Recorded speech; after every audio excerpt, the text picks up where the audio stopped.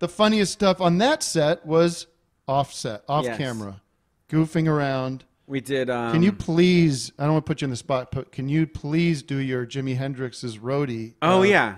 Have you there- done that outside of our little world? No, but I, I should. Uh, uh, Well, it, really because there was a guitar on set. there That was, like an electric guitar out that Mm-hmm. was um, just on set. Uh, of this Moonbase, the joke being that like you know we play guitar and stuff like Right. that. So f- out of boredom, I was just like, yeah. Okay. I, I was like, uh, hey guys, I'm uh, I'm Jimi Hendrix's roadie. I'm his like main roadie. He's guitar tech, and I just did him like, Mr. Hendrix, I got your guitar all ready for you. You got your wah wah pedal, and uh, you got your set list right here. I hope you open up with Purple Haze. Ooh, that was good last night. You did real good. They're all ready for you. There's no opening band. You're on at 8:30, Mr. Hendrix.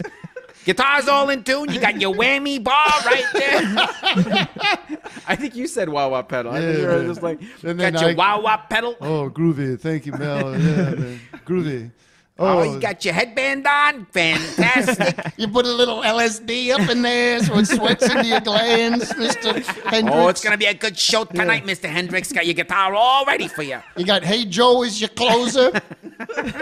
oh, they love you out there. There's a couple of honeys out there in the front row too. Where's Mitch?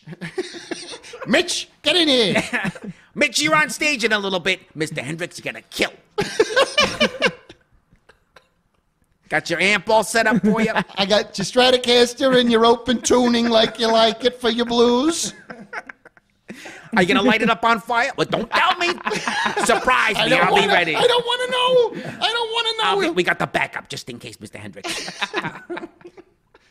yeah. so that's what we So did. there's a little trouble. The Who wants to go on before you. I told him to stick it, Mr. Hendrix. What's the